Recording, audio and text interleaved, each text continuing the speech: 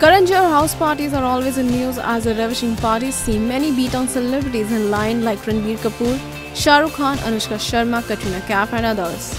Again, Karan hosted a house party where only Ranbir Kapoor, Aditya Roy Kapur and Varun Dhawan were spotted. Coincidentally, Ranbir, Aditya and Varun were wearing blue-colored shirts and t-shirts. It was a late-night dinner at the filmmaker's house. Dr. Ayan Mukherjee was also spotted at the party. On the walk front, Ranbir will be seen in Jagga Jasoos opposite Katrina Kaif. If reports are to be believed, Aditya will romance with Kriti Sanon in his next.